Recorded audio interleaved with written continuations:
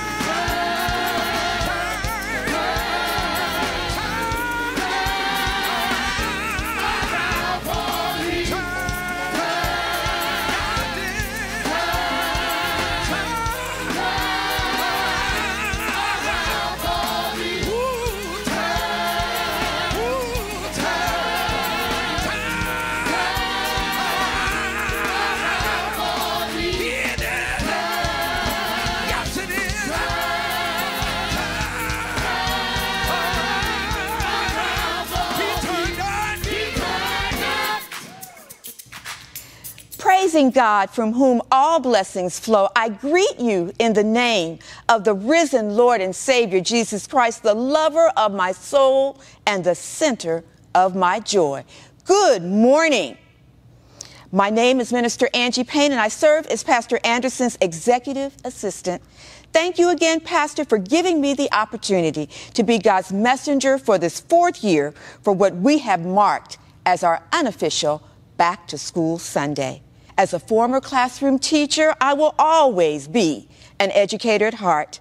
This is a challenging season for everyone and everything, but as we say here at the fountain, now all glory to God who is able through his mighty power at work within us to accomplish infinitely more than we might ask or think.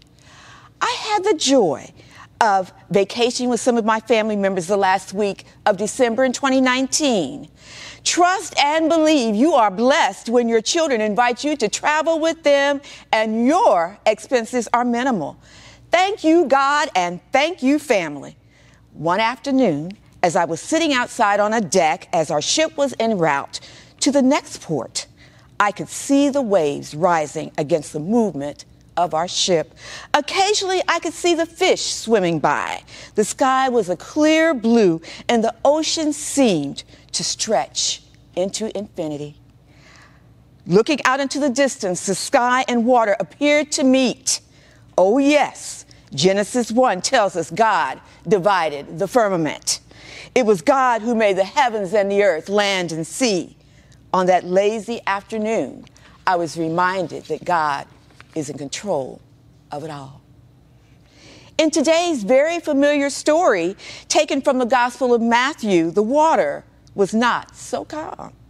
The disciple Peter, even in this brief moment, wavered. So typical. But let's not be too hard on the brother. Go with me to Matthew 14, verses 22 through 33, the New Living Translation.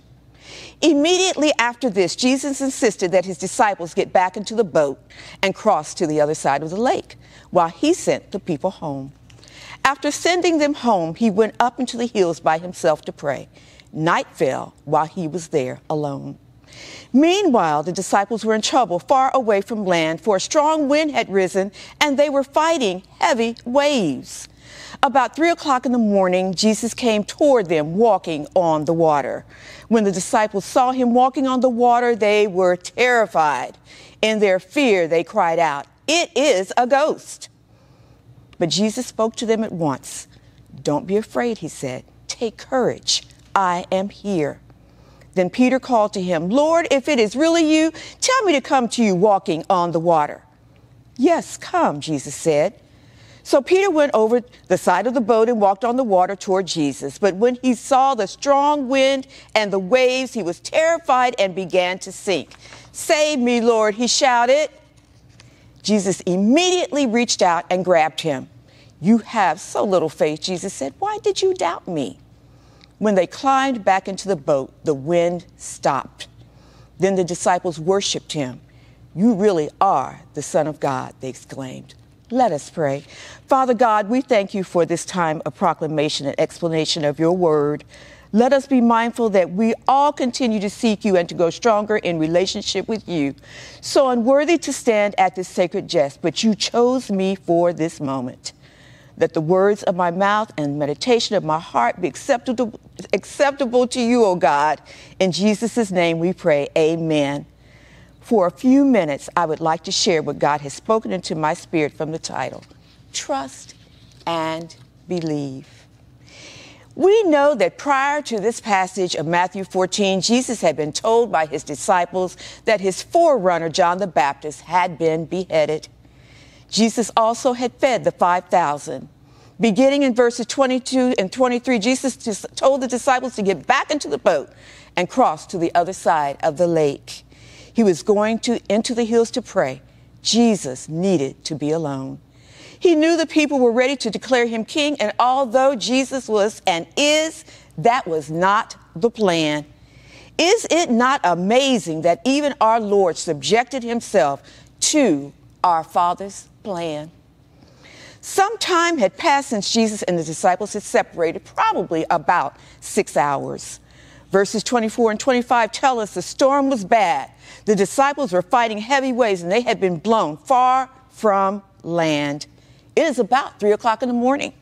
Verse 26 tells us that they saw a figure walking on the water and they were afraid. Bad enough they were in a storm, no land in sight. Now they see someone walking on water, seemingly a ghost. I would have been scared too. As we say in the classroom, here is a pivot of the pericope. Here is the takeaway, if you will. Jesus said in verse 27, Don't be afraid, take courage. I'm here. The I am is here. However, our man Peter responded by saying in verse 28, Lord, if it is really you, tell me to come to you walking on the water. Our Lord simply said in the next verse, Yes, come.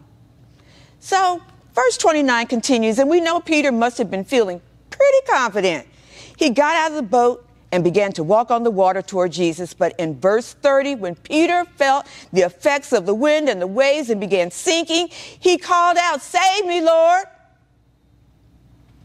Verse 31 tells us that Jesus wasted no time in reaching out and grabbing Peter.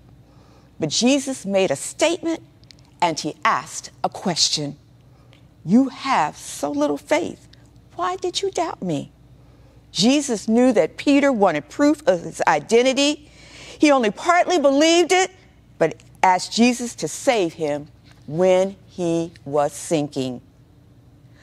Although Peter positioned himself for Jesus' response by his actions, I will give Peter credit. In verse 32, when they climbed back into the boat, the wind stopped. Trust and believe.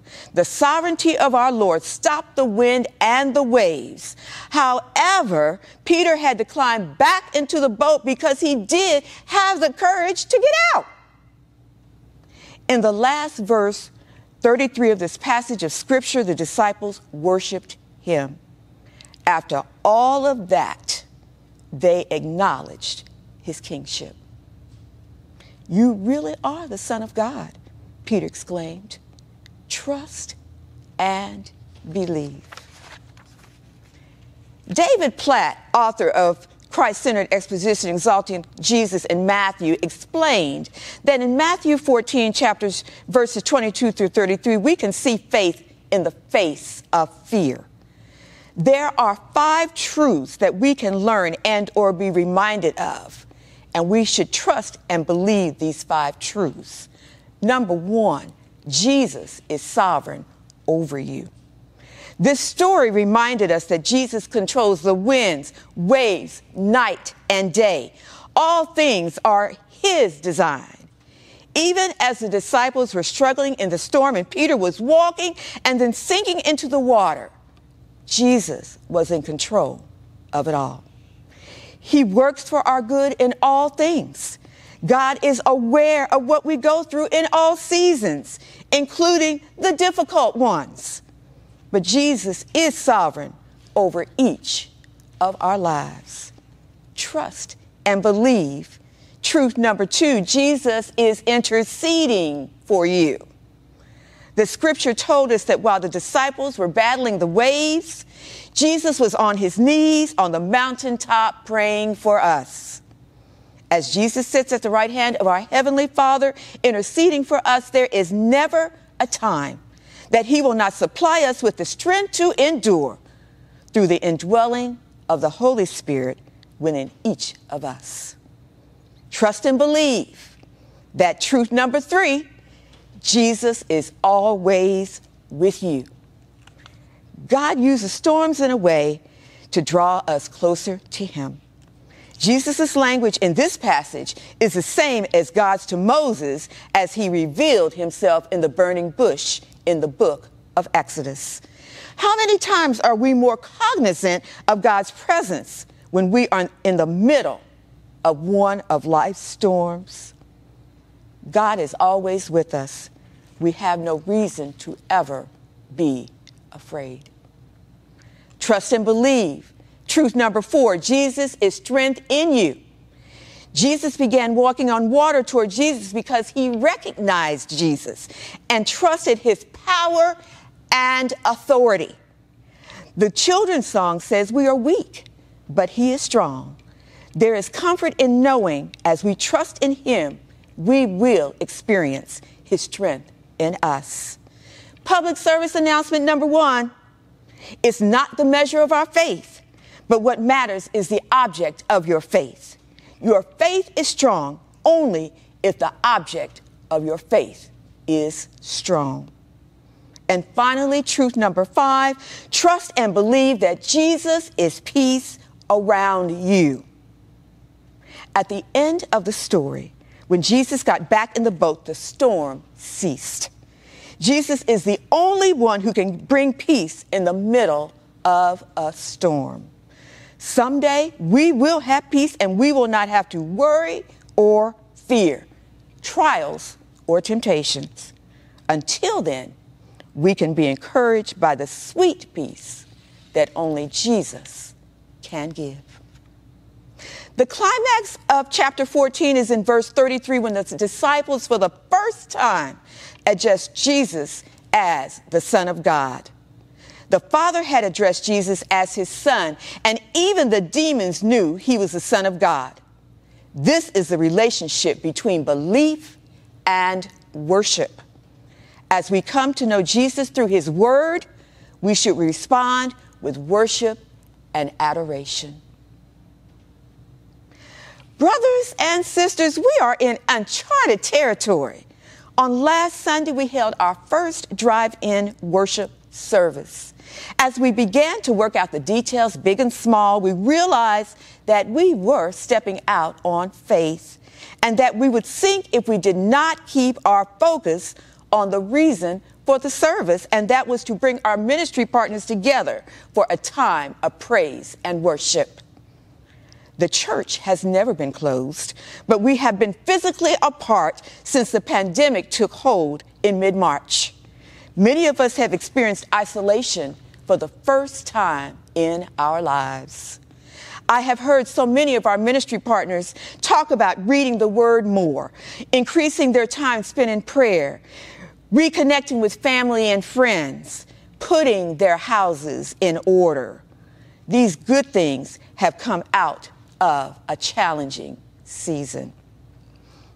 But sadly, my brothers and sisters, we continue to mourn those who have had loved ones to transition from contracting COVID 19.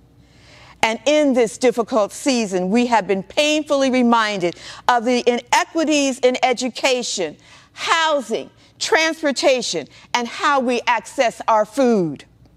The essential workers should be respected and protected by those who have the privilege of working from home.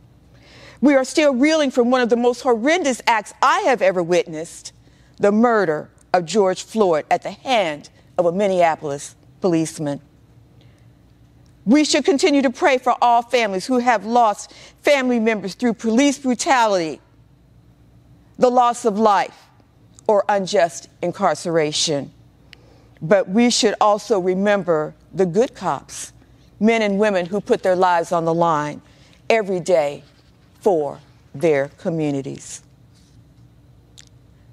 Disease is not new, and neither is systemic racism. But what is new, perhaps, is a technology driven global society that exposes the good and bad in us and the world within a millisecond of time. Our places of learning are opening or will open in the days and weeks to come.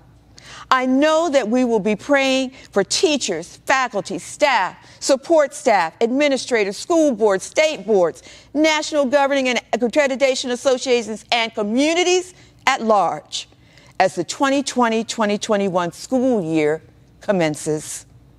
And as our students begin, whether in person, remotely, or hybrid, from the smallest preschooler to the seasoned university student, let us send up extra timber, as the old folks used to say. Public service announcement number two students, stay focused, strive for excellence, and set your goals high. We need to place our trust in God because we need Him now more than ever. Know Him, trust Him, have faith. If we keep our eyes on Jesus, we can walk on water and we will get through every storm. Trust and believe. If you have not accepted Jesus as your Lord and Savior, I invite you to accept Him today. Pray this prayer with me. Dear Lord, I know that I am a sinner and I ask you for your forgiveness. I believe you died for my sins and rose from the dead. I turn from my sins and invite you to come into my heart and life. I want to trust and follow you as my Lord and Savior you have now accepted Jesus as your Lord and Savior. And if you are looking for a church home, on behalf of our pastor and the ministry partners of the Fountain of Raleigh Fellowship, we would love to have you unite with us. We welcome you with open arms. Feel free to contact us through our website, Facebook page, or the old fashioned uh, school way. You can just call the church. Let us pray. At this time of worship, together draws to close, we thank you for the word you had for us today. We will trust and believe on the one who walked on water, the one who came to save us because you loved us that much. Now unto him that is able to keep you from falling and to present you faultless before his presence with exceeding joy, to the only wise God, be glory and honor, dominion and power both now and forever. Be blessed, stay safe, and stay well. Amen, amen, and amen.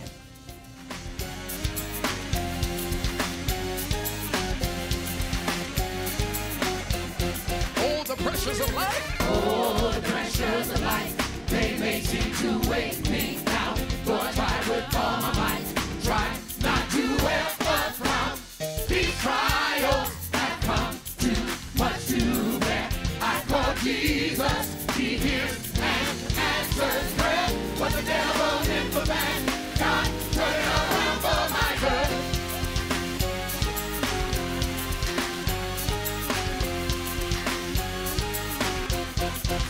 sunshine, through sunshine and rain, I've been through heartaches and pain. I've been up and I've been down,